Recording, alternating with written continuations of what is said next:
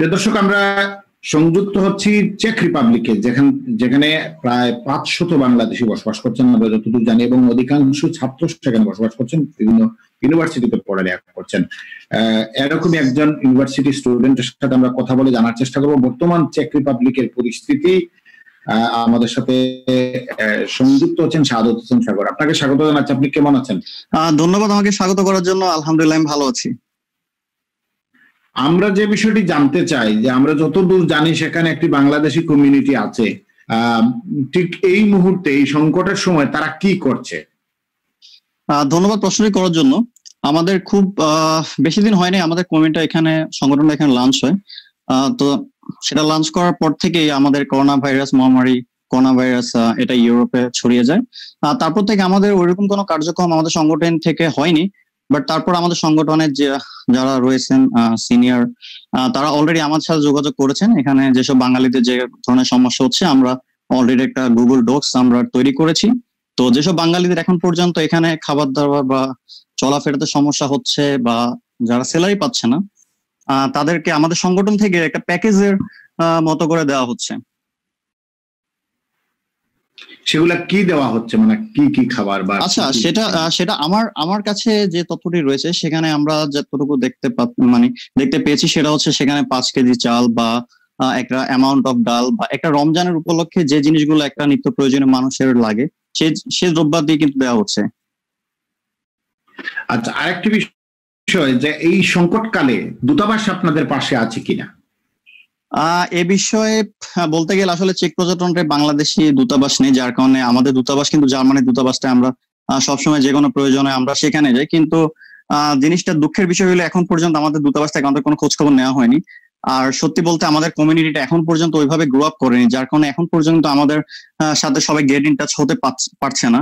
Basically সবকিছু যদি আমি এক কথায় বলতে যাই, এখানে কিন্তু যে বাঙালিরা রয়েছেন, এখানে যারা আমরা পড়াশোনা করছি বা যেখানে, এখানে যারা ওয়ার্ক পারমিটে আছেন, তো দেখা যায় যারা স্টুডেন্ট তাদের এখন পর্যন্ত কোনো সমস্যা হচ্ছে না। বাট ওয়ার্ক পারমিটে যারা আছে, তাদের সাহায্যের জন্য কিন্তু আমাদের সংগঠনটি এগিয়ে এসেছে। তো আপনাকে যেটা আমি একটু আগে বলছিলাম, যে তাদের জন্য খুব ক্ষুদ্র একটি ব্যবস্থা করেছে যে যেহেতু আমাদের এখানে কোনো বাংলাদেশ দূতাবাস নেই, সেহেতু বাংলাদেশের পক্ষ থেকে বা এখানে যেহেতু কমিউনিটিটা জাস্ট গ্রো আপ এখন গ্রো আপ টাইম সেহেতু ওইরকম বড় কোনো কার্যক্রম এখন পর্যন্ত নেওয়া হয়নি। আরেকটা বিষয় সরকার থেকে কি বলা হচ্ছে যে করোনা সংকট কবে নাগাদ উঠবে কবে নাগাদ সব স্বাভাবিক অবস্থায় যাবে? এরকম কি আপনি জানেন? হ্যাঁ এটার জন্য একটা গুড নিউজ আছে যেটা হচ্ছে এই দেশের সরকার এখন পর্যন্ত চারটি পদক্ষেপ কিন্তু নিয়ে ফেলেছে পর্যায়ক্রমে। সেটির একটি কিন্তু অলরেডি কার্যক্রম হয়ে গেছে এপ্রিলের সাতাইশ তারিখ থেকে কিন্তু এখানে মোটামুটি দুইশো স্কোয়ার মিটারের দোকানগুলো কিন্তু সব খুলে দিয়েছে। পর্যায়ক্রমে মে এগারো মে পঁচিশ এবং জুন আট এই তিনটি ধাপে ধাপে কিন্তু দেশটি স্বাভাবিক অবস্থা ফিরে আসবে আমরা আশাবাদী। আরেকটি বিষয় আপনার কাছে জানতে চাই যারা এই মুহূর্তে কলেজ ইউনিভার্সিটিতে পড়ছেন স্বাভাবিকভাবে তারা পার্ট টাইম জব করতে পারছেন না তো এই এই পরিস্থিতিতে তাদের অবস্থাটা কি? সুন্দর একটি প্রশ্ন। এখানে আমরা যারা এখানে পড়াশোনা করছি এখানে অনেকে পার্ট টাইম জব করছেন।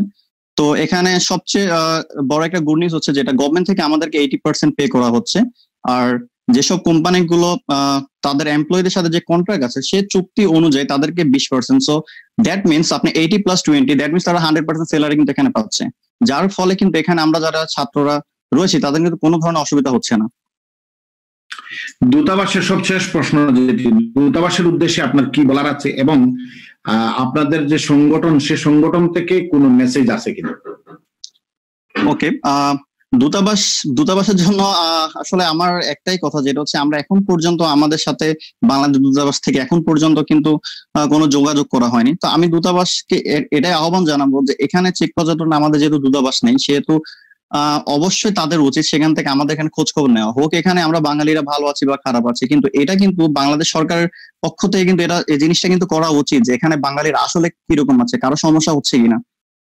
আর সংগঠন, সংগঠনের জন্য আমি একটা কথাই বলব, সংগঠন এটা জাস্ট ফেব্রুয়ারিতে এটা আমাদের লঞ্চ হলো, এটা জাস্ট গ্রোয়িং টাইম তো এ পর্যন্ত তারা যে কার্যক্রম যেটা নিয়েছে যে সব বাঙালিদের কাছে মাস্ক পৌঁছে দেওয়া বা যাদের এখন দ্রব্যাদির সমস্যা হচ্ছে সেটা তাদের কাছে পৌঁছানো, সেটা আসলে একটা গুড ইনিশিয়েটিভ আর আমার আরও আরও ভালো বলার আছে সংগঠনের সংগঠনের জন্য যেটা হচ্ছে ভবিষ্যতে যেন এই সংগঠনটি যেন আমাদের পাশে যেরকম দূতাবাস দাঁড়াচ্ছে না বাট আমরা সংগঠন থেকে আমরা চাইব এই দেশে বাঙালিদের যে সমস্যাগুলো সেই সমস্যাগুলো সমাধানের জন্য।